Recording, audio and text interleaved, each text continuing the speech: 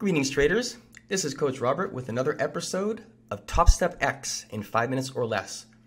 In this video, we will demonstrate some additional chart preferences surrounding order placement in previous trades. We have an NQ 3 minute chart on the screen, and I did place some test trades earlier in the day for the demonstration purposes of this video, but we don't see them.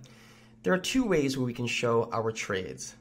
One is by going to the settings uh, panel and then the charts tab across the top. And on the far right, we have chart executions. We can turn this on and save it.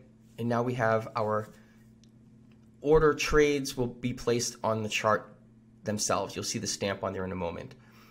We can also change whether we want to have our positions displayed in dollars, in ticks, or in percentage. When we are in a trade, we have our positions on the chart, we can choose whether we want to show them on the left or on the right, or we can choose to show them not at all as some traders like to do. For example, if you're trading off of a DOM or if you just like to keep nice clean charts. Finally, under here, but unrelated, is the data speed. We suggest trying medium.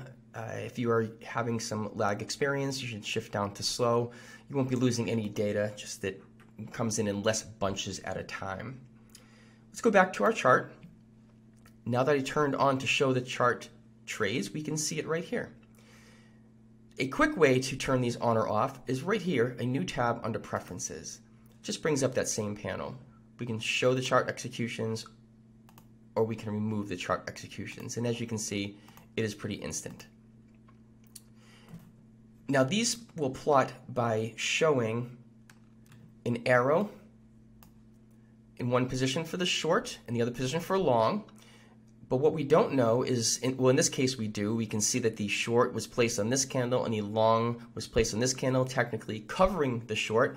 And it gives us our price levels here, which we can see here down below. We have our 921.50 as the entry price, and we have our 924.25 as the exit price. So it shows a loss as a short and then a cover higher, a loss of $55. The next trade was here we have a short into a cover, and this shows it here as well. 894.75, we covered at 891, which is the exit price, for a win of $75. Now these will show on the chart as you take positions. So if we simply mark it into a position right now, we can see it has just placed a short and we can see that we have a red arrow on the chart. And there it is.